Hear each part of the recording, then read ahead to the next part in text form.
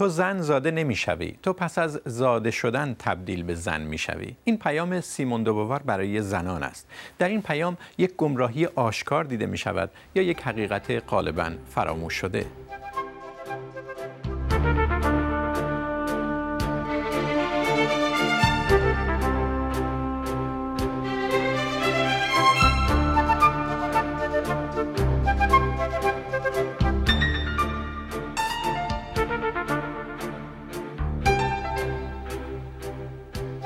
سلام من داریوش کریمی هستم.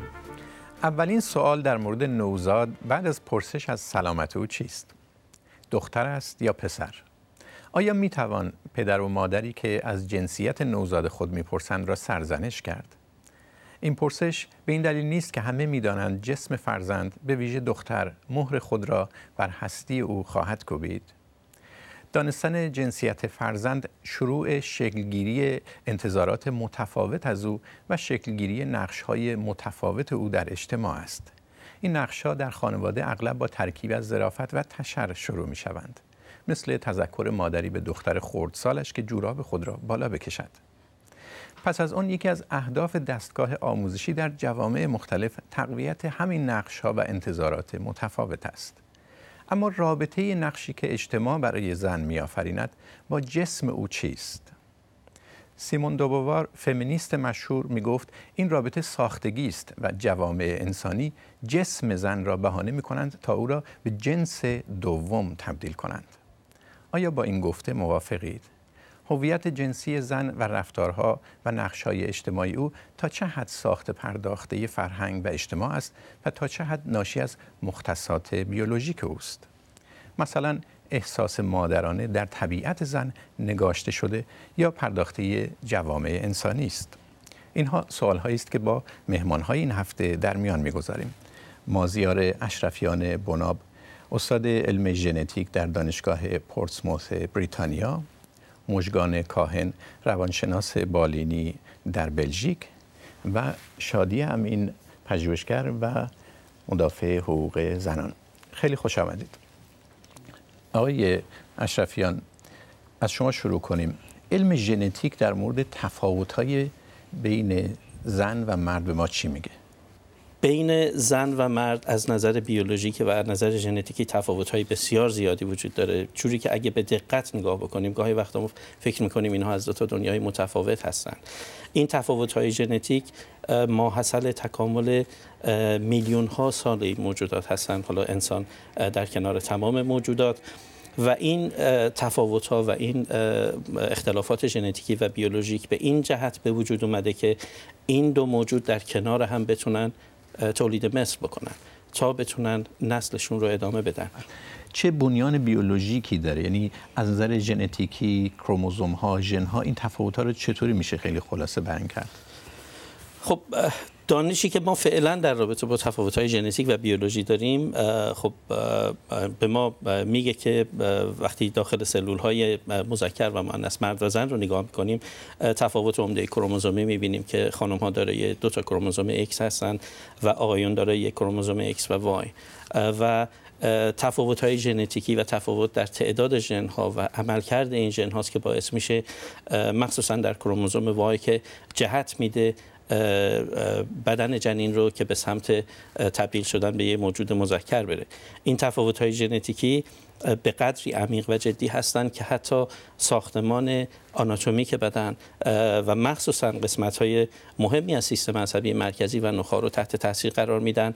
و وقتی حتی از نظر آناتومی ما این دوتا موجود رو مقایسه می‌کنیم زن و مرد رو مقایسه می‌کنیم می‌بینیم که تفاوت های بسیار عمده ای وجود داره بین این دوتا که می‌تونه توجیه بکنه نقش هایی رو که اینها در آینده به عهده خواهند داشت و هر کدوم بتونن بخشی از وظایفشون رو که در نهایت و هدف اصلی این تفاوت هاست که تولید مثل هست و نگهداری و مراقبت از فرزند رو به انجام برسونن. بله. در حیوانات مختلف اگر نگاه کنید دورانی که پدر مادر باید مراقبت بکنن از فرزندشون تا بتونه به زندگی مستقل برسه متفاوته. این دوران در انسان طولانی ترینه یعنی ما اگر یه بچه 7 8 ساله رو در یک محیط بکر رها بکنیم امکان اینکه زنده بمونه خیلی کمه. ما معمولا تا دوران بلوغ و حتی بیشتر از دوران بلوغ پدر و مادر مسئولیتی دارن که این بچه رو مراقبت کنن و به نقطه‌ای برسونن که بتونه رو پای خودش بیسته. این مراقبت از کودک و فرزند نیاز به روش های مختلفی داره و مسئولیت های مختلفی رو به دوش پدر و مادر می‌ذاره با توجه به خصوصیات فیزیکی، خصوصیات ژنتیکی و خصوصیات بیولوژیک این دوتا پیدا کردن در مسیر تکاملی خودش. بله شما در صحبتاتون افسون بر اینکه یک توضیح علمی دادید در مورد تفاوت های ژنتیک زن و مرد چندین بار از کلماتی مثل مسئولیت مثل نقش مثل رفتار اجتماعی استفاده کردید به این ترتیب معتقد هستید این نقش های متفاوت زن و مرد متأثر از اون تفاوت ژنتیک هستند. بله شما جمله‌ای که فرمودید در از سیمون دوبوار که شما تو زن زاده نمی‌شوی بلکه جامعه تو رو تبدیل به زن می‌کنه. این دو تا اشکال بزرگ در این من می‌بینم. اول اینکه مفهوم زن اینجا تعریف نشده. آیا ما زن اینجا منظورمون جنس زن هست؟ جنسیت زنانه و مردانه رو صحبت می‌کنیم. یا داریم راجع به هویت جنسی صحبت می‌کنیم که کاملا این دوتا از هم متفاوتن. جنس زن جنسیت یک موجود از همون لحظه اول لقاح تعیین میشه و ژنتیک تعیین می‌کنه که این بچه یا این فرزند بله. مرد خواهد بود یا زن. و هویت جنسی رو تا حدود زیادی جامعه تعیین می‌کنه ولی با توجه به مطالعات روانشناسی و بیولوژیک حتی هویت جنسی هم به مقدار بسیار زیادی تا حدود دو تا چهار پنج سالگی تعیین شده و جامعه در این بخش و متأثر از اون بنیان بیولوژیک است. بله متأثر از تفاوت بین جنسیت و هویت جنسی رو حتما در بحث بهش خواهیم پرداخت. ولی می‌خوام ببینم نظر خانم امین چیه؟ ببین نکته که آقای اشفیان باناب مطرح می‌کنن در واقع نظری هستش که توی اجتماع به عنوان نظریه ذاتگرایان مطرحه کلیسای کاتولیک ازش دفاع می‌کنه اسلامیست ازش دفاع می‌کنن. به این معنی که میان میگن طبیعت بشری ازلی و ابدی یک هویت مشخصی رو به زن و مرد داده و بر اساس اون انتظارات معینی هم از این دو جنس دارن و وظایف و حقوق معینی رو براشون تعریف می‌کنن. خود شما تو بحثتون اشاره کردین مثلا وظیفه مادری یا وظایف دیگه یا مناسبات دو جنس رو شما تعریف کردین. در واقع تو صحبتی که شما کردین مناسبات دو جنس اساسش بر اساس یک رابطه دیگر جنسگرایانه است. یعنی زن و مرد در رابطه جنسی مکمل همدیگن طبیعت این رو جلو راهشون قرار داده و طبیعت برای حفظ و بقای نسل این کار رو کرده. به این معنی در واقع هر کسی خارج از این چارچوب عمل بکنه به نظر شما غیر طبیعی است. در واقع مشکل اونجایی پیدا میشه که با این تعریف بیولوژیک شما مناسبات اجتماعی رو تعریف می‌کنین و انتظارات معینی رو از هر بیولوژی انسانی ایجاد می‌کنین تو جامعه و نقش های معینی رو دوششون می‌ذارین. مشکل اونجا ایجاد میشه. و الا اینکه تفاوت بیولوژیک بین زن و مرد هست کسی انکار نمی‌کنه. در واقع سوال ما از کسانی که این گونه فکر می‌کنن اینه که این تفاوت بین کدام زنها و کدام مردها هست. یعنی در واقع شما یک گروه انسانی رو به اسم زنها دارای یک ژنتیک معین یک نوع رفتار معین می‌دونید. در واقع وظیفه مادری را محور این رفتار می‌ذارید و در رابطه با مردان هم مسئولیت و وظایف معینی رو, رو دوششون می‌ذارید تمام مشکل مناسبات اجتماعی که ما امروز باهاش روبرو هستیم و زنان رو به حاشیه میرونه در واقع از این تعریف بیولوژیک هست که البته خیلی هم ازش سوء استفاده صورت گرفته. به این معنی که زنان رو موجودات ضعیفتر قلم داد می‌کنن زنانی که ولی ایشون میگن که اون مبنای بیولوژیک که اسمشو گذاشتن جنسیت زن تاثیر خیلی زیادی داره در هویت جنسی نقشای اجتماعی که زن. شما معتقد هستید رابطه این دوتا چیه؟ آیا بیولوژی نقش نداره در هویت جنسی که زن می‌گیره؟ قطعا نقش داره ولی اون عمدگی که تو این نگاه هست و قالب کردنش و ثابت کردن و ازلی و ابدی خوندنش موضوع نقد ما هست. چون نظریه‌ای بود که مطرح می‌کرد که زنان اساسا به دلیل بیولوژی مغزشون دارای محدوده لغات کمتری هستند. و اینو تونستن فمینیست ها ثابت بکنن که زبان زنان اگر این محدودیت رو داره به دلیل تسلط جامعه مردان هست که زنان رو دائم ساکت کرده و به حاشیه رونده. بحث‌های بسیاری از شما امروز تفاوت زیادی بین در, در, در حقیقت می‌بینید بین امروز زنان با سی سال چهل سال پیششون با 60 سال پیششون. نمی‌خواد ده هزار سال گذشته رو بریم بررسی بکنیم. در واقع شما می‌بینید حتی وظیفه مادری امروز به زیر سوال رفته. یعنی کاهش پیدا کرده استفاده از این توانایی مادری در بین زنان. زن زنان بسیاری هستن که آگاهانه بچه دار نمیشن. زنان بسیاری هستن که ضرورتا رابطه جنسیشون رو با مردا تجربه نمی‌کنن. اینها به نظر شما که اون رو طبیعی می‌دونید کجای تحلیل شما قرار می‌گیرن؟ بعد از چه حد از حقوق اجتماعی بهره مند میشن؟ چقدر شما وقتی اون رو هنجار می‌دونید اینها رو ناهنجار قلم داد می‌کنید و غیر طبیعی؟ و بعدیست می‌دونیم هممون که تو جامعه وقتی یک هنجار تعریف شده ای هست که پشتوانه علم رو هم با خودش هم می‌کنه هر چیز دیگه جز اون ناهنجار و به حاشیه رونده میشه و تحت تحقیر و به نوعی حتی سرکوب واقع میشه اینا بحثایی است که به نظر من قبل از بله. اینکه من بخوام ادعا بکنم در تا بحث شما راجع به ژنتیک فکر می‌کنم هر علمی تاثیرات اجتماعی خاصی رو زندگی زنان و مردان یه جامعه می‌ذاره و بیشتر بحث من رو تاثیر چنین نظراتی است. بله جواب سوال شما رو از آقای اشرفیان بناب خواهیم گرفت ولی این موضوع شما گفتید وظیفه مادرانه. ایشون از نقش مادر صحبت کردن رو یه مقدار مشخصتر کنیم. بگیم احساس مادرانه. چون ممکنه یه کسی بگه من این وظیفه رو نمی‌خوام به عهده بگیرم بچه‌مو میسپارم. ولی احساس مادرانه یه مقدار لفظ مشخص تریه آیا احساس مادرانه خانم کاهن یک چیز طبیعیه؟ یعنی در مادر بعد از زایمان شکل می‌گیره. حتی قبل از اون به دلیل رابطه بیواسطه ای که با فرزند در رحمش هست یا اینکه نه یه چیزی ساخت پرداختی جامعه انسانی. من برای اینکه به سوال شما جواب بدم لازمه که اول برگردیم به اینکه اصلا اه، برای اینکه جواب بدیم که زن بودن و مرد بودن اصلا در کل چیه و روانشناسی چه جوابی در این مورد میده. اینه که اول برگردیم به اینکه اصلا هویت انسان چجوری به وجود میاد؟ این فکر کنم سوال اساسیه. و پاسخی که روانشناس ها به ما میدن اینه که این هویت اصلا در ارتباط با دیگری است که شک- شکل می‌گیره. و هویت جنسی هم خب یه, یه بخشی از اون هستش. شخصه. بله درسته. یعنی اینکه شما نمی‌تونید تجسم بکنید که مثلا یه بچه یه کودک سوای محیط اجتماعی یعنی جداش بکنید ببینید چه جوری پرورش پیدا می‌کنه. و خصوصا اینکه ما می‌بینیم که اصلا اگر بچه هایی رو شما دور بکنین از اون توجه و محبتی که احتیاج دارن برای رشد کردن اصلا می‌تونن شخصیتشون اصلا شکل نگیره. یعنی دچار مشکلات شدید بشن اگر ال- البته شانس بیارن و زنده بمونن. این برای این بود که تاثیر محیط رو بگیم. حالا هویت جنسی هم دقیقاً متاثر از محیط. متاثر از محیط هستش به میزان خیلی زیادی. یعنی تا اون حد که میشه گفت ساخته محیط هست هویت جنسی؟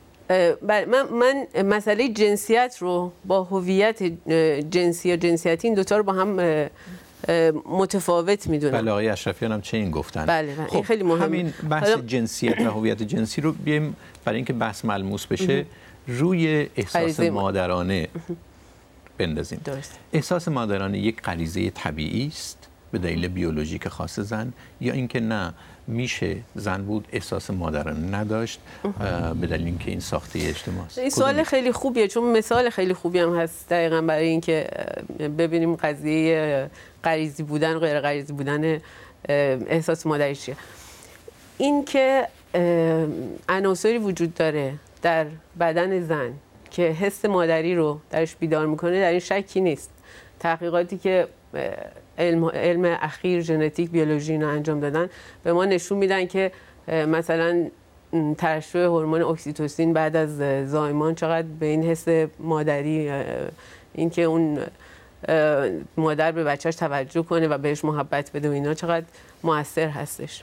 این خب خیلی مهم. ولی یه چیزی که من فکر اه، مهمه و انسان رو متفاوت می‌کنه با حیوان ها اون هستش که ساخت روانی انسان خیلی پیچیده تره خیلی از مادرها بعد از زایمان مثلا دچار افسردگی بعد از زایمان میشن. این دقیقا یکی از دلایلش حالا ممکنه دلایل دیگه هم شما براش عنوان کنیم ولی یکی از دلایلش همین ساختار روانیه. به خاطر برای اینکه مادر شدن فرقش مثلا مادر شدن موش با مادر شدن آدم فرقش سر اینه. شما وقتی که مادر میشین این خود مادر شدن یه چیزهایی در گذشته شما بیدار می‌کنه در شما. برای اینکه بشر حافظه داره بشر احساس داره و می‌تونه گذشتهش رو با حال در ارتباط قرار بده. روایتی که زن از خودش داره رو فوق العاده متحول می‌کنه دیگه مادر شدن. یکیش این باعث میشه که یکیش اینه. ولی بله. یکیش اینه که وقتی که مثلا یه مثال بهتون بزنم. یه زن بچه دار میشه خیلی موقع ها رابطه خودش با مادرش توی زنده میشه توی ناخداگاهش مثلا ممکن ناخداگاه باشه یعنی توی بله. روان درمانی که این آشکار بشه. مثلا خودش رو به بچهش هویت سازی بکنه رابطه که با مامانش داشته اینا.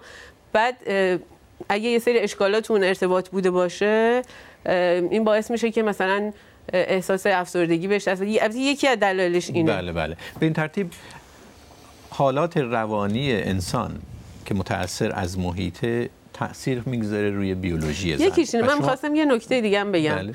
یه نکته دیگه هم اینه که یه فرقی که باز من فکر کنم خانم امینم بهش اشاره کرد اینه که ما باید ببینیم از چه زنی صحبت می‌کنیم این زن در چه قرنی زندگی می‌کنه. متوجه میشیم؟ یعنی مادری که تو قرن 21 زندگی می‌کنه. مثلا ما می‌بینیم مادر افسردگی می‌گیره به خاطر اینکه خودش هم خواسته بچه دار بشه. ولی قبل از بچه دار شدن مثلا آدم فعالی بوده تجربه های دیگه ای داشته خودش گونه دیگه تجربه کرده. مادر قرن 21 حتی اگه این غریزه مادری حسی باشه که توش وجود داره اینا.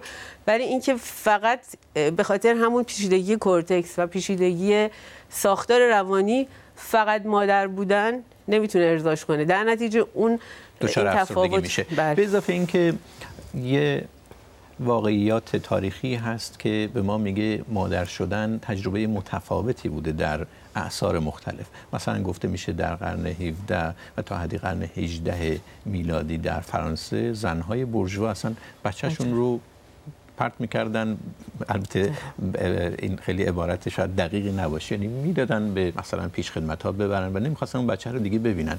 این ترتیب میشه واقعا از تجربه جسم خود صحبت کرد منهای بستر اجتماعی زمینه اجتماعی که شما در اون هستید. من اگه اجازه بدید بحث رو اینجوری دنبال کنم که چیزایی هستن به عنوان قرارداد اجتماعی که ممکنه ممکنه تفکرات زندگی و ایده های انسان رو تحت تاثیر قرار بدن. مثلا شما مثال قرن 17 هم رو زدید. ولی فراتر از قراردادهای اجتماعی ماهیت و هویت انسان به عنوان یه موجود زنده تغییر نمی‌کنه. من می‌خوام برگردم به اون قسمت اول و نکاتی رو عرض کنم. ببینید وقتی ما راجع به جنس صحبت می‌کنیم و هویت جنسی اگر سر کلاس درس من بخوام درس ژنتیک و بیولوژی بدم جنس مرد و زن رو تعریف کنم میگم بعد دو تا کروموزوم ایکس میشه زن یک کروموزوم ایکس و کروموزوم وای میشه مرد. تعریف خیلی ساده ایه. ولی واقعا جنسیت اینجور نیست که ما دو جنس داشته باشیم و یه خط مرز بتونیم وسطشون بکشیم و این دوتا رو تفکیک کنیم. کسانی می‌تونن از نظر بیولوژیک دو تا کروموزوم ایکس داشته باشن ما بهشون بگیم زن اما به دلایل تداخلات ژنتیکی به دلیل تفاوت‌های کارکرد ژن‌ها که می‌تونه تحت تاثیر محیط باشه می‌تونه تحت تاثیر داروها باشه می‌تونه عوامل متعددی تاثیر می‌ذارن در عملکرد ژن‌ها. ممکنه این خانم که از نظر بیولوژیک زن هست مقدار هورمون مردانه تستوسترونی که در بدنش تولید میشه بیش از حد معمول باشه و زنی که دارای جنس یا جنسیت زنانه هست هویت جنسی متفاوتی پیدا کنه. در واقع من می‌خوام به این شکل بگم که فرض کنید شما یک رودخونه ای دارید که در یک مسیر خاص در یک بستر خاص حرکت می‌کنه. ماهیت و هویت این رودخانه جنسیت یعنی کروموزوم ها و ژنتیک و بیولوژی بدن ماست که مسیر اصلی را تعیین می‌کنه.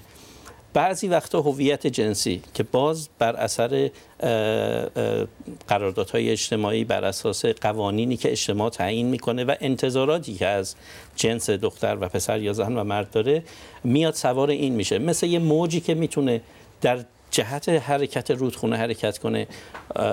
یه بچه از نظر جنسی با کروموزوم های X و Y متولد میشه جنسیت پسر داره و جامعه بهش هویت جنسی مردانه میده و این مثل یه موجیه که در همون مسیر رودخونه حرکت می‌کنه. بعضی وقتا ممکنه باد در جهت خلاف حرکت رودخونه به ترتیب کسایی که چنین تداخلی به گفته شما تداخلی درشون دیده میشه یعنی مثلا دو جنسیتی ها بله.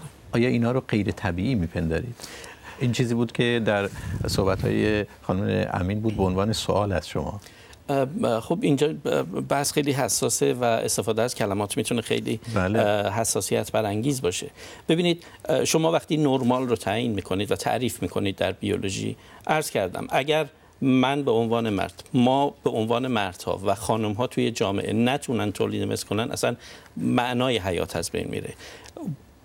ذات وجود مرد و زن چون ما یه موجود دو جنسی هستیم. موجوداتی در طبیعت هستن که تک جنسی. هن.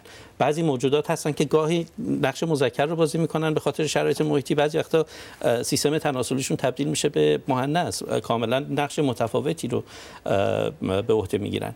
ما به عنوان یه موجود دو جنسی به این دلیل و این سمت حرکت کرده تکامل ما رو به این سمت برده که بتونیم همونجور که عرض کردم یه موجودی رو به جایی برسونیم که رو پای خودش بیسته. حالا اگر چیزی در مسیر غیر از این حرکت بکنه ممکنه یک نفر به عنوان کسی که به صلاح در رابطه با بیماری ها کار کنه اسمش رو بیماری بذاره. یه روانشناس یه جامعه شناس ممکنه اسم اختلال رو روش بذاره. من اسم خاصی نمی‌خوام بذارم ولی با توجه به هویت و ماهیت مرد و زن و نقشی که اینها دارن برای مهمترین هدف تمایز و تفاوت جنسیشون که تولید مثل هست من این رو غیر طبیعی می‌دونم. من اجازه بدین همینجا وارد بحث بشم و یه نکته رو بگم در اون احساس مادری و وظیفه مادری در رابطه با زنان. اگه دقت بکنیم بسیاری از کتب علمی و که در رابطه با مسئله مادری نوشتن توسط مردان نوشته شده در حقیقت احساس زنان رو مردان تعریف کردن. که این احساس تجربه ویژه است در زنان. اولین تکونی که ما باید بخوریم و روایت های کلان رو به چالش بکشیم در عصر حاضر برای اینکه ناعدالتی و بیعدالتی در جامعه رو کاهش بدیم لاقل اگر نتونیم کامل از بین ببریم این هستش که بیایم سوال بکنیم کی در چه جهتی چه حرفی رو زده. بذاریم اجازه بدیم که به حاشیه رانده شدگان و در این مورد زنان خودشون روایتشون رو بگن. اجازه بدین خود زنان بگن. واقعا آیا تجربه مادری زیباترین تجربه زندگیشون بوده؟ چون این جمله همه درد و رنج مادری رو زیر سوال می‌بره.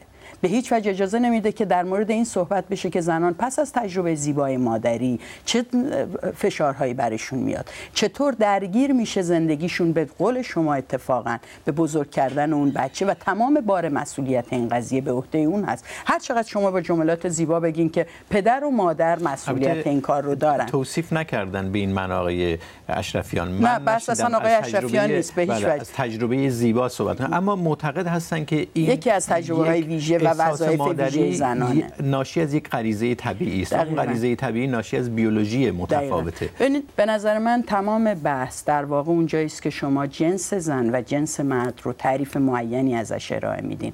در واقع ما جنس نر و ماده داریم که در هویت جنسیتیش تبدیل به زن و مرد میشه. کروموزوم های معینی داره اندام جنسی معینی داره و به تبع اون نقش جنسی معینی در جامعه رو شما به دوشش می‌ذارین.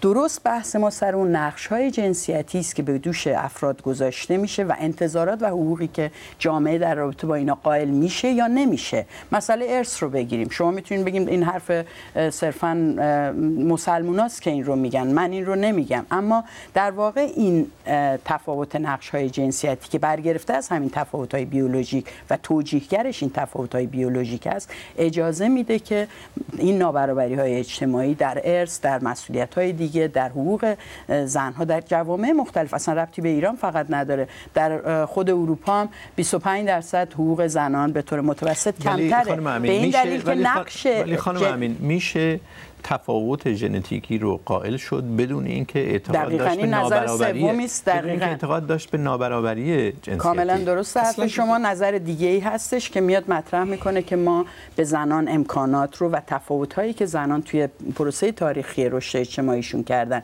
میپذیریم. اما اتفاقا چیزی که جالبه این نظر نظر سوم هست نظر بسیاری دیدگاهی که خودشون رو مدرن می‌دونن مطرح میشه. اما همچنان اینا بر نقش مادری و تولید مثل زنان به به عنوان محور تفاوت بیولوژیک تاکید می‌کنن. درست تو بحث آقای بنا؟ بله. چون من معتقد نیستم که ایشون فکر می‌کنم که از این نابرابری دفاع بکنن. اما درست تو بحث اینا عامل یکی از عوامل مهم در نابرابری زنان و مردان که این مسئله هستش همین باز دیدگاه مربوط به تولید بله،. دقیقاً. ببینید وقتی صحبت از نابرابری ب- ایشون می‌خوان صحبت کنن بعد شما بعد من یه چند تا نکته رو می‌خواستم تذکر بدم. اه، یکی اینکه اه، به نظر من به یه نکته باید توجه کرد در ارتباط با چیزایی که شما گفتین اینکه ما اه، همه داده هایی که علمی رو یعنی هر چیزی که علم ژنتیک یا بیولوژیک به ما میگه همه اینا رو به نظر من درست نیست که به عنوان دسیسه ای فرض بکنیم که می‌خوان مثلا نابر- نابرابری رو تشدید بکنن. به خاطر چی؟ به خاطر اینکه این نوع دید باعث میشه که باز بودن ما رو در ارتباط با داده های جدید علمی از بین ببره. یعنی این ترس این که قابل فهمه ها. یعنی قابل فهمه. سر اینکه سر ایدئولوژی شدن علم و اینا باید صحبت کرد. کسایی که استفاده می‌کنن ازش که همیشه هم دانشمندان نیستن. یعنی خیلی از دانشمندا بله. هدفشون اینه که فقط اینو می‌خواستم تذکر بدم. ولی در ارتباط با مسئله که گفتین سر قضیه طبیعی بودن و یا غیر طبیعی بودن. مسئله اینه که خب فرض کنیم غریزه مادری یه چیزی که به طور طبیعی در انسان وجود داره. خب خشونت. حالا همش مثال زنها رو نزنیم. بریم سراغ مثلا میگن که هورمون تستوسترون یه جاهایی باعث میشه که خشونت در مرد گرایش به. خشونت بیشتر باشه تا نسبت بزن اولا به نظر من هر چیزی که طبیعی تره دلیل نمیشه که بهتر باشه برای بشر. مثلا خشونت دقیقا مثالش دادم. خشونت یه چیزی که تو طبیعت ما وجود داره. ولی ساخت روانی و اجتماعی یه بشر باعث میشه که بتونه یه جوری این خشونت رو. پالایش بده. ببینید همونجور که عرض کردم وقتی یک نوزادی به دنیا میاد نیاز به مراقبت و پر- پرورش داره تا بتونه رو پای خودش بیسته. یک موجودی نیاز هست کنار این فرزند و نوزاد باشه که بهش عاطفه و محبت بده. ما هممون این تجربه رو داریم که عاطفه مادری رو هیچ چیز جاش نمی‌تونه نمی‌تونه بگیره. یعنی محبتی که از مادر می‌گیریم و کنار مادر بودن یه چیز دیگه است. فراتر از هر محبت و حس دیگه ای می‌تونه باشه. این نقش رو طبیعت و تکامل مغز مادر مثلا قسمت های عمقی سیستم لیمبیک مغز در خانم ها جوری تکامل پیدا کرده و بزرگتر و پیشرفته تر از مرد هاست که بتونه این محبت ایجاد بکنه و این محبت رو به فرزند بده. در کنار فرزند باشه ازش به طور دائم مراقبت کنه. در عین حال این فرزند و مادری که داره ازش مراقبت می‌کنه نیاز داره که تغذیه بشه.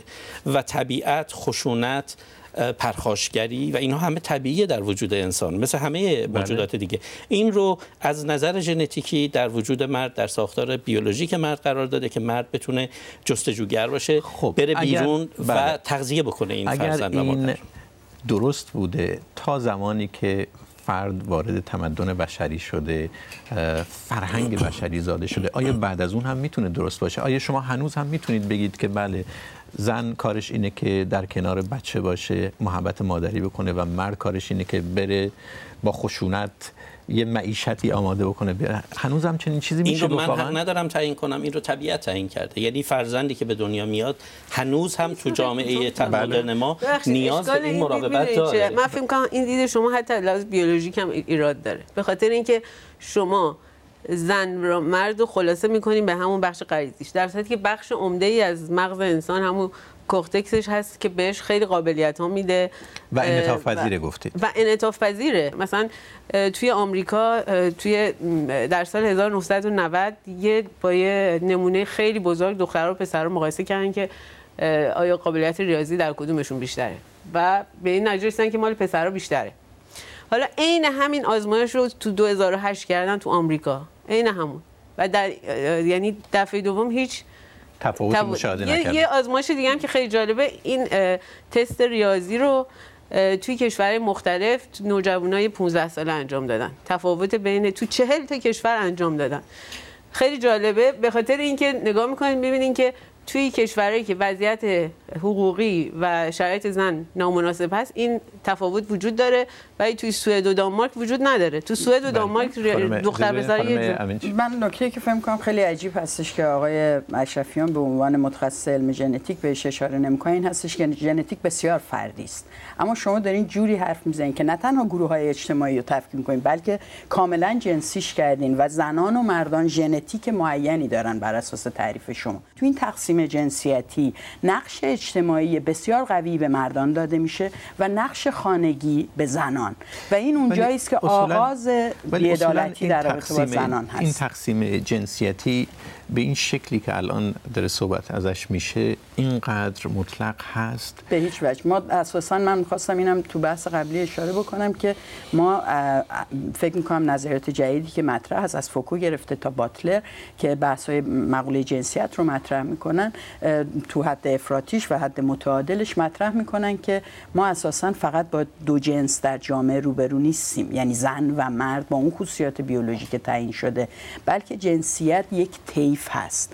عناصر و محدوده بسیار وسیعی رو در بر می‌گیره. و اگه ما اینو بپذیریم بعد بسیاری از انسان ها از لحاظ ما با اون تعریف شما غیر نرمال یا ابنرمال یا غیر طبیعی قلمداد نمیشن.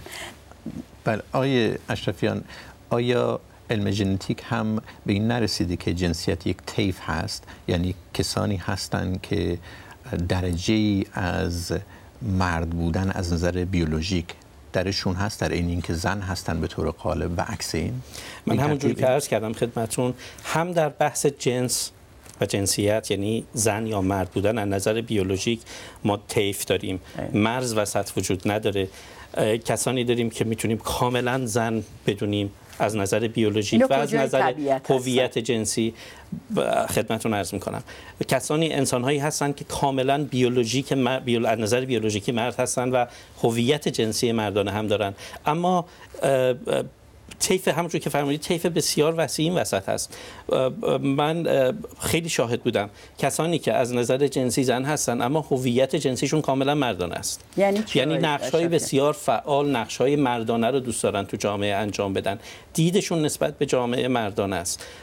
حالا یه مثالی خدمتتون عرض بکنم. خب ما به هر موقع حالا به حال مسائل فیزیکی درگیری هایی بین مرد و زن ممکنه پیش بیاد. من این تجربه رو داشتم که به عنوان پزشکی قانونی در یکی از شهرهای بسیار زیبای ایران بندر عباس خدمت می‌کردم.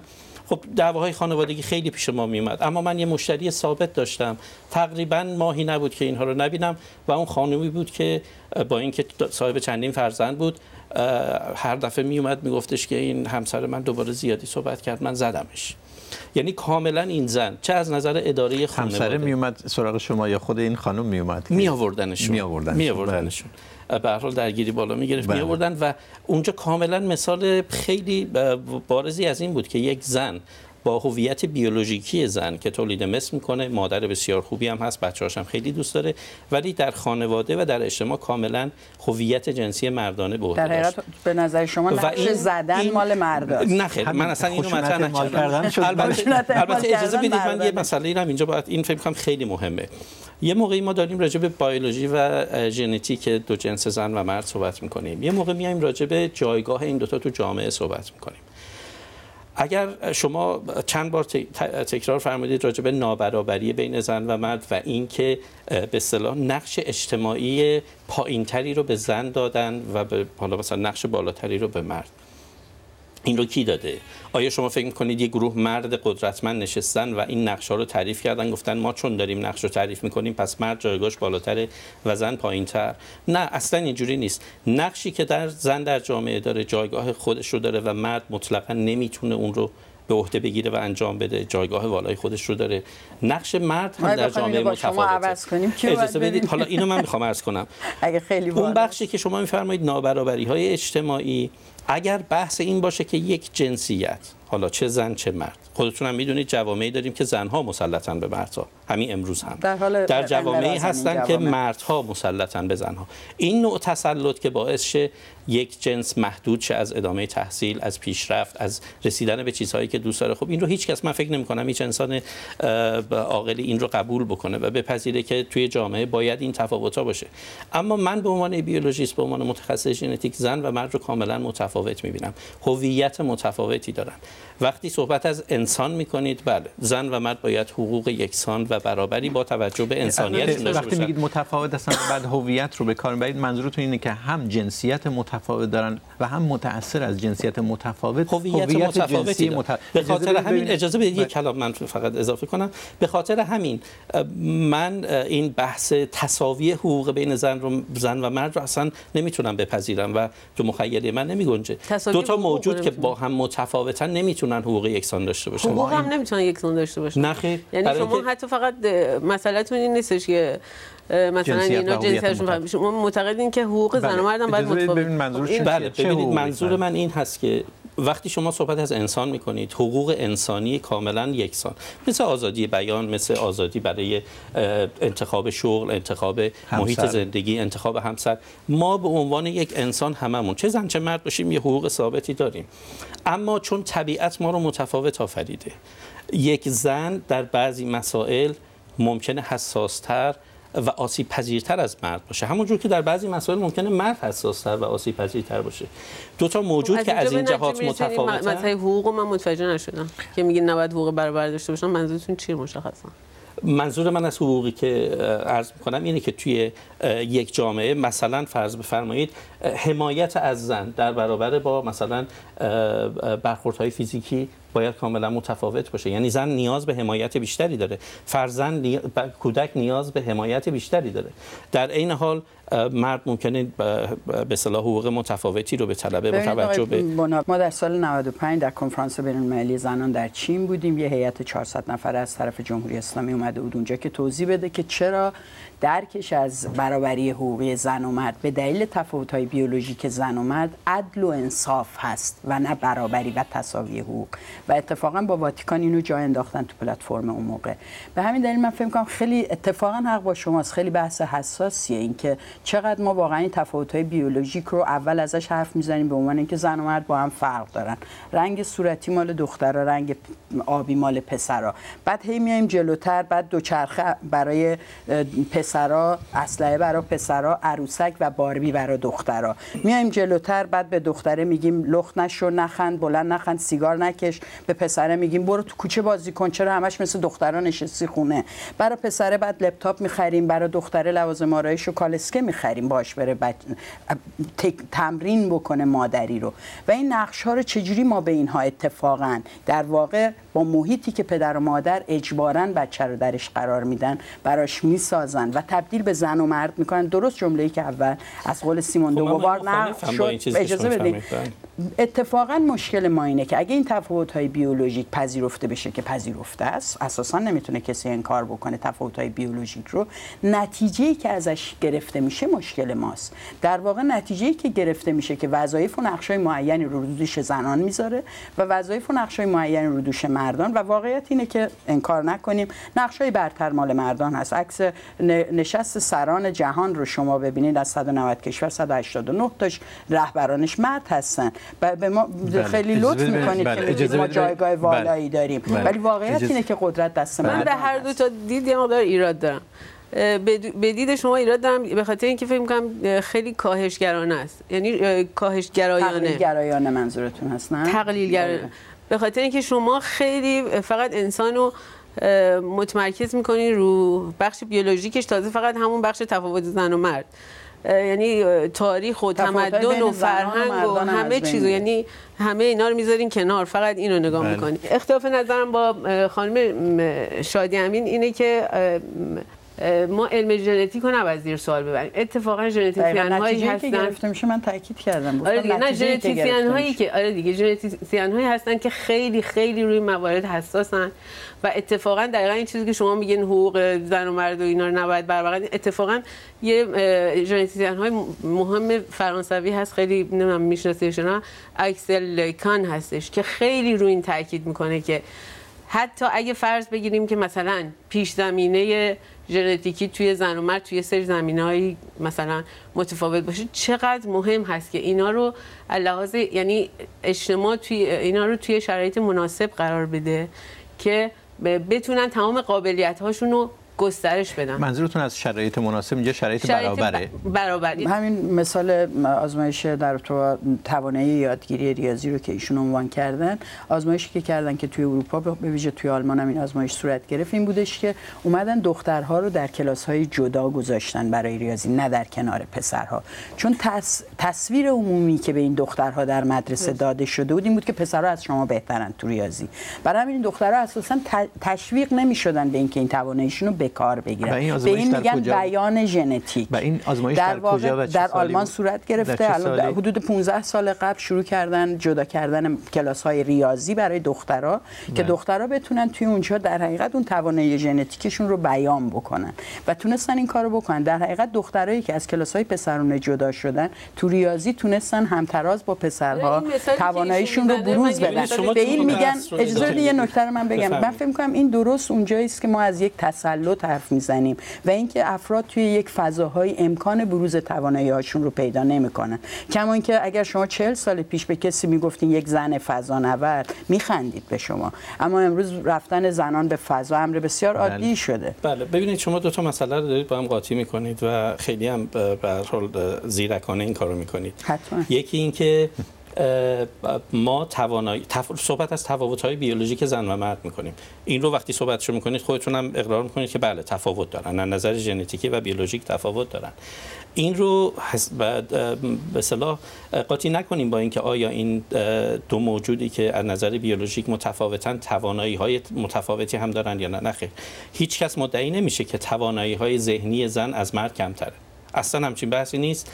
توانایی های ذهنی حتی توانایی توانایی اجازه بدید؟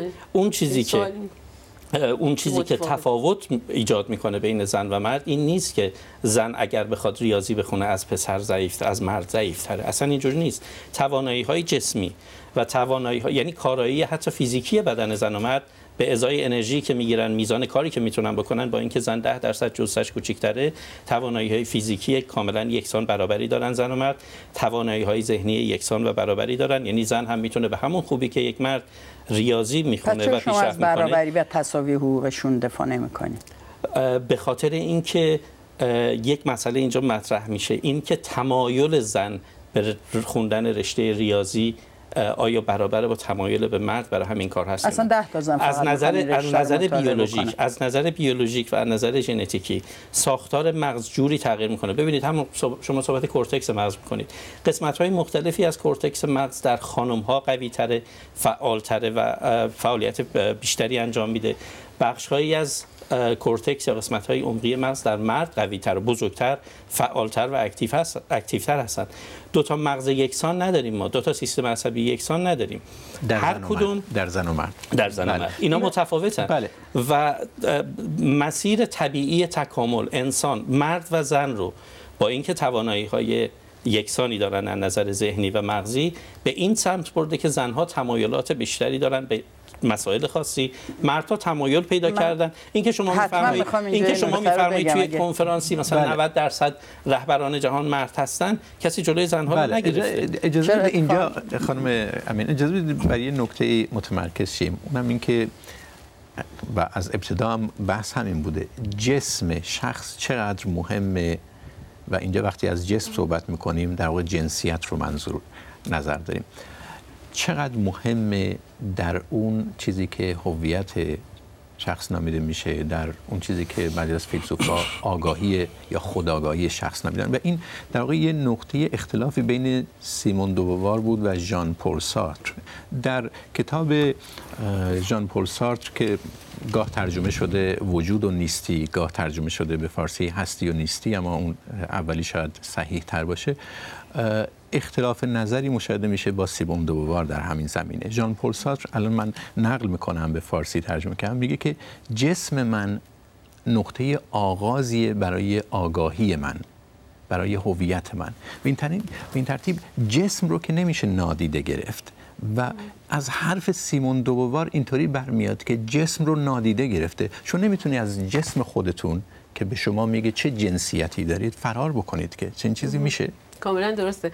ولی نکته که خیلی مهمه اینه که این جسم خب در تقابل با اجتماع هستش که تبدیل میشه به هویت جنسی. این دو تا مفهوم باید با هم متفاوت کرد. بله. جنسیت با هویت جنسی. از داده های مردم شناسان ما استفاده کنیم خیلی جالبه چون که فرهنگ های مختلف مثلا در ارتباط با اینکه نگاهی که اجتماع یا مادر داره نسبت به اینکه دختر چیه پسر چیه چقدر تاثیر می‌ذاره رو شخصیتمون.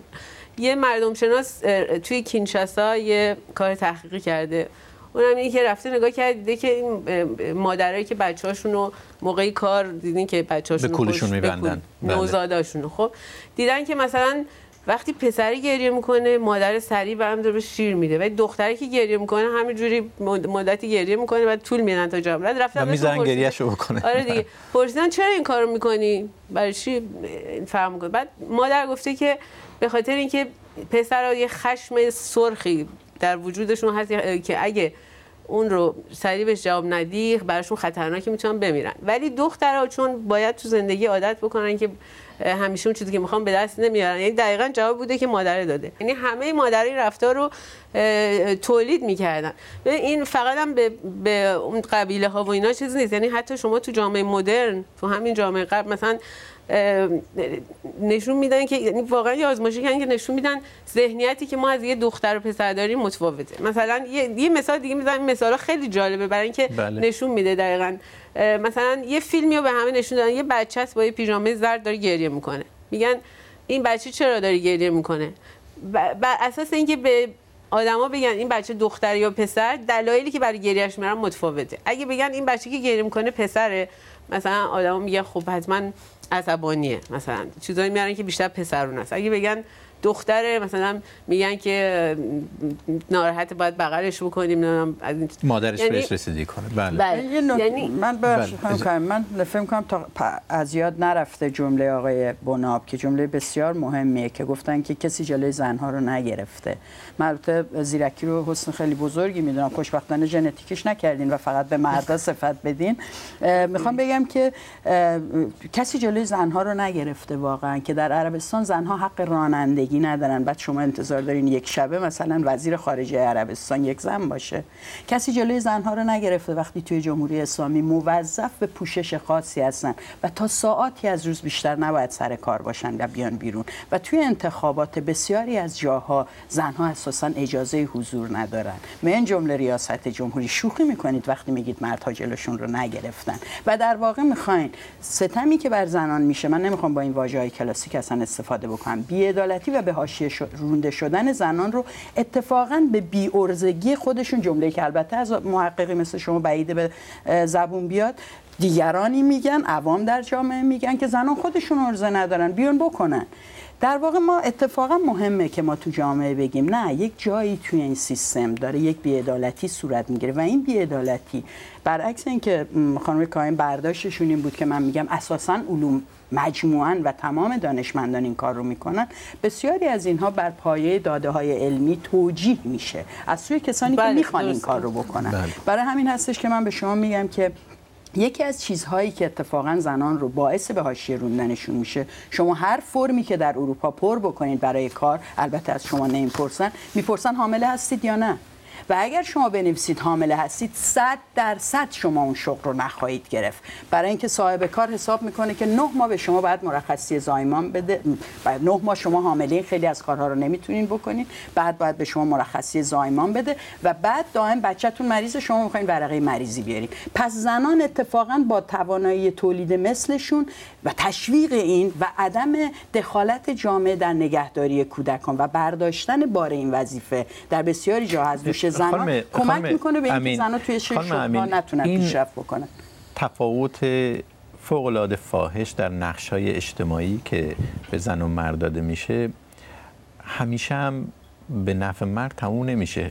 اینجا من می‌خوام در واقع یه پیامی در یکی از ایمیل هایی که برای ما فرستاده شده بود رو بگم که گفته بود که خیلی از جاها این نوع انتظارات بالا از مرد به ضرر مرد هم تمام میشه. خیلی از مردها تو ایران میگن که نون آور شمردن مرد و مسئولیت مستقیم برای تغذیه خون مادر رو به مرد دادن باعث استرس و فشار فوق العاده زیادی بر مردها میشه و جامعه در ایران فکر می‌کنه مرده که باید البته تغییرات عظیم به خصوص در شهرها داره رخ میده ولی کماکان در ایران چنین چیزی هست دیگه و این فشار بسیار شدیدی بر مردان می‌گذاره بله یعنی اینطوری هم نیست که همیشه به نفع همیشه به نفع مردان مردانه به هیچ بله. وجه جاهایی به ضررشونه ولی اینها در موارد خیلی محدودیه و من توصیه می‌کنم به همه آقایون که تو این زمینه با فمینیست ها همراه بشن تا این بارها و این نقش های اجتماعی رو ما زیر سوال ببریم ببینیم. و این فشارهایی که شما میگین مردان هم دارن از دوششون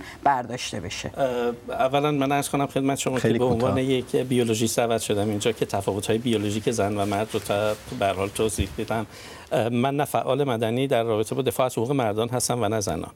ولی حالا به عنوان یک انسانی که تو جوامع مختلف حالا زندگی کردم من فکر می‌کنم این صحیح نیست که شما از مثال عربستان یا جمهوری اسلامی بخواید استفاده کنید. بیاید تفاوت زن و مرد رو در کل دنیا بخواید تعریف کنید و بگید چون در ایران یا عربستان این مسئله هست پس زنها تحت فشار بودن. من این رو قبول نمی‌کنم. اینها مثال‌های افراطی هست مثال‌های کاملا افراطی شما مثال دیگه این که شما ببینید مسئولیت‌هایی که باز این رو من می‌دونم ریشه بیولوژی اعتقادم اینه که بیولوژی این ما رو به این مسیر می‌بره که وقتی الان به آمار کشتگان جنگ مثلا هر جنگی شما نگاه بکنید بیش از 97 درصد کسانی که تو جنگ کشته میشن مردها هستن. شما به مشاغل مختلف نگاه کنید. کارهایی که مردها انجام میدن زنها به هیچ عنوان حاضر نیستن. کارهای بسیار پس و پایین با درآمد بسیار کم. همه جا خانم ها این مسئله عنوان میشه که خب حقوق خانم ها کمتر از مردان پس این تبعیضه. ولی ولی بسیاری از جنگی متفاوته و تحقیقات جامعه شناسی وسیع هست که اولین قربانیان جنگ زنان هستن. یعنی اینا رو ما زیاد من, من منظورم نقشی است که دو بله، جنس مختلف. در خب اجازه بدید خانم خانم کاهن که کمتر صحبت کرد. فقط یه نکته خواستم بگم. اینو بدونین که یکی از چیزایی که باعث شد زنها در غرب وارد اجتماع و وارد فضای کاری بشن. همون جنگ جهانی شد بود بله. که به قول معروف باعث شد مردا کم باشن زنها رفتن و موندن. باعث شد که بمونن. یعنی نشون میده اتفاقا بمونن منظورتون چه هست؟ یعنی در اجتماع بمونن. بله. یعنی اینکه اتفاقا اینکه وقتی زن رو در معرض محرک های جدید قرار میدی خودش رو منطبق کرده و اینکه لذت می‌بره از اینکه علاوه ذهنی خودش رو کشف بکنه از بودهای دیگه خودش رو کشف بکنه نشون میده که یه چیزی که خیلی مهمه اینه که نقش های جنسیتی رو با جنسیت قاطی نکنیم و رول تاریخ و فرهنگ و روان رو نادیده حتما در نظر بگیریم. بسیار خب خیلی ممنونم. به آخر برنامه این هفته پرگار می‌رسیم. ممنون از شما که این بحث رو دنبال کردید و همینطور از مهمانهای برنامه مازیار اشرفیان بنا مجگان کاهن و شادی امین. از طریق وبسایت ما به آدرسی که روی صفحه ظاهر شده می‌تونید برای ما ایمیل بفرستید. در همین وبسایت نسخه تصویری و همینطور پادکست یعنی نسخه صوتی برنامه ها در دسترس شماست. و اگر گمان می‌کنید چیزهای ناگفته مونده و دوست دارید همین بحث رو ادامه بدید به فیسبوک ما سری بزنید. شب و روز بر همه شما خوش.